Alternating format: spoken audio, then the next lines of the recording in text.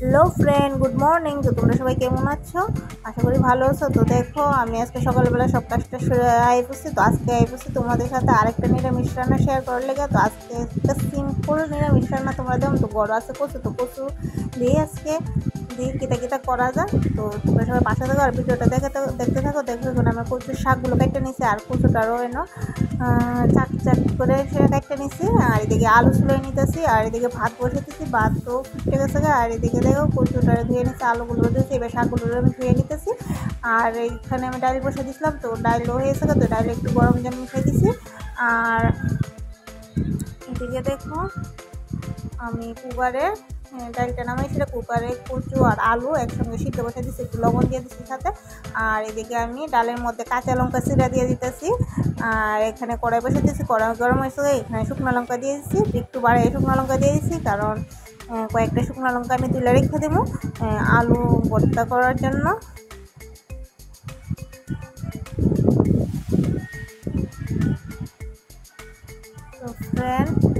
দেখো, এখানে আমি এবার দেখছি পাঁচফোড়ন দিয়ে সে এখানে ডালটা সম্পাদ দিয়ে নিছি আর এখানে আমার কচু আর আলুটা সিদ্ধ হয়ে গেছে গা। তো এটা নামিয়ে নিচ্ছি তো এবার আমি কচুতে লবণ, হলুদ মেখে নেব। তো কচুগুলো এবার বসাই দিছি। তো কচুগুলো এবার আমি ভাজতে নেব।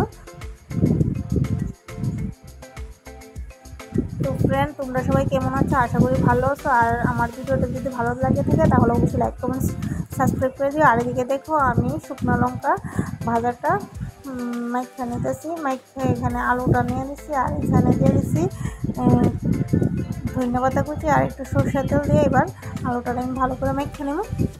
তো আমার আলু ভর্তা রেডি হয়ে গেছে আর এদিকে আমি দিয়ে দিচ্ছি কচুর শাকটা, কচুর শাকের সঙ্গে এখানে আমি কাঁঠালের বেশি দিয়েছি। তবু এবার কুকারে সিটি দিয়ে নেব। আর এদিকে দেখো একটু আদা আর কাঁচা লঙ্কা পেস্ট করে নিচ্ছি তো এখানে আমি পুরনে দিয়েছি শুকনো লঙ্কা, তেজপাতা পাঁচফোড়ন আর হলুদ, কাঁচা লঙ্কা পেস্ট, জিরা সব কিছু দিয়ে আমি একটু জল দিয়ে মশলাটারে ভালো করে কষাই নিতেছি।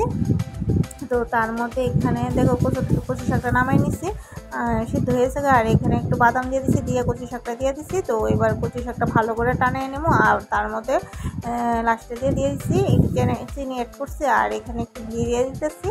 তো দেখো, এখানে আমার শাক রান্নাও কমপ্লিট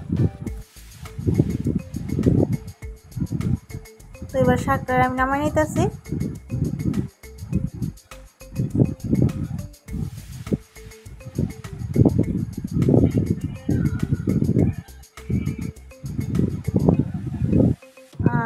দেখো, আজকে আমি রান্না করলাম ডাল, আলু ভর্তা, আর এদিকে আছে কচুর শাক আর কচু ভাজা। তো আজকে নিরামিষ সেখানে আজকে নিরামিষ রান্না বান্না কমপ্লিট, আমার সিম্পল নিরামিষ রান্না। আর খুব সহজে রান্না করে লেছি তাড়াতাড়ি ঝটপট করে। তো এবার আমি হাজব্যান্ডে ভাত খেয়ে দেবো, সুন্দর করে থালা সাজিয়ে। তো আজকের মতো ভিডিওটা এখানেই শেষ করছি। টাটা!